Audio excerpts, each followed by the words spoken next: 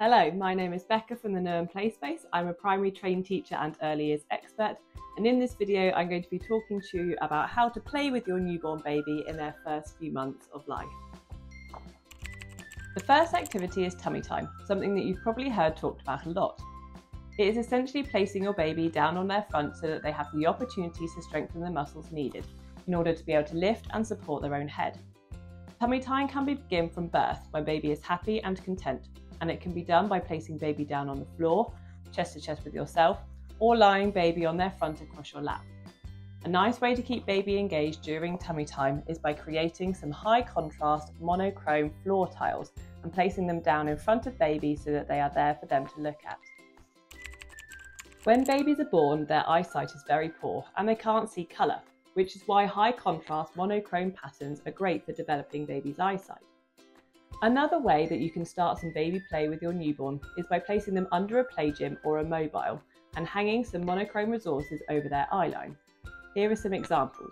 You can buy products like these that are black and white and make gentle noises when they move. You could also use polystyrene balls and draw some monochrome patterns on them and then hang them as a mobile or on a play gym. Or if you're feeling really creative, you can create something called a Munari mobile, which is a Montessori inspired mobile that's in black and white colours. You can also buy lovely monochrome books like these, which are wonderful for sharing with your baby. Did you know that researchers found that a child who has at least one book read to them every day from birth will be exposed to 1 million more words than a child who has never been read to? Reading to your newborn can be a soothing activity to do together, and it needn't just be simple baby books like these. You can read stories to your newborn. The higher the quality of the literature, the better.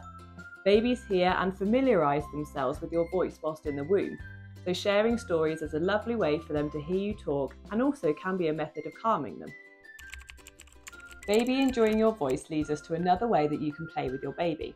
Singing and saying rhymes is a wonderful way to interact with your baby and also supports their language acquisition and development, just like reading does.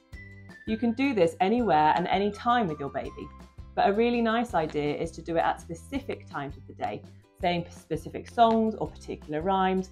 For example, every time you get up in the morning, when you're getting baby dressed or changing their nappy, during bath time, or even whilst they're getting ready for bed.